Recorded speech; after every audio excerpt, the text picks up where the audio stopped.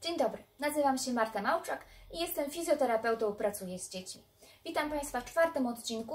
Czwarty odcinek rozpoczyna cykl odcinków o prawidłowej pielęgnacji. Powiem kilka słów, dlaczego warto, dlaczego warto zwrócić na to uwagę, dlaczego warto się tego nauczyć i pokażę, że tak naprawdę e, jest straszne to tylko na początku, później wchodzi w krew i w ogóle nie wyobrażamy sobie pielęgnować dzieci inaczej. E, dlaczego pielęgnacja jest tak ważna? E, dlatego, że prawidłowy sposób obrotów, prawidłowy, e, prawidłowy sposób zmiany pozycji, czy to będzie z pleców na brzuch, czy z pleców na, brz, na bok, czy to będzie z brzucha na plecy, w każdą stronę, dodatkowo prawidłowe podnoszenie, noszenie, odkładanie, kąpanie, Każda aktywność, którą serwujemy naszym dzieciom, powinna być dla nich rozwojowa. Wiemy o tym, że im więcej będziemy my wkładać naszej pracy, tym mniej dzieci będą pracować. To jakby jest oczywiste i my pracujemy w tych samych schematach tak naprawdę.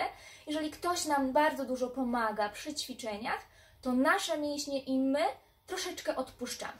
W przypadku dzieci jest tak samo, Dlatego warto dostosować ten sposób pielęgnacji do, do wieku naszych dzieci i do ich umiejętności. Rozdzielimy sobie na taki etap pierwszych trzech tygodni, czyli tego noworodka. E, później e, będziemy mówić o tym małym niemowlaku, czyli trzeci, czwarty miesiąc, bo to jest ta pielęgnacja troszkę inna, i e, kolejne, czyli e, do szóstego miesiąca.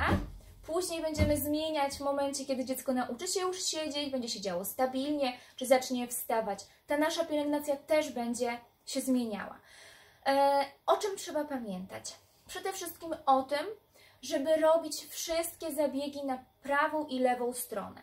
Czyli zmieniamy pieluchę, obracając na prawo i lewo. Raz na jeden, raz na drugi bok. Podnosimy raz przez prawy, raz przez lewy bok.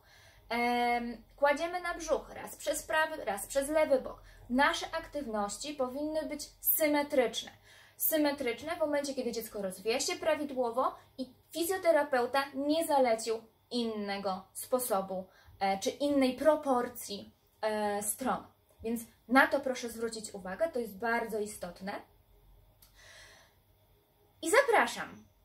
Będziemy w każdym odcinku mówić o czymś innym. E, I mam nadzieję, że pielęgnacja nie będzie już taka straszna. Zapraszam.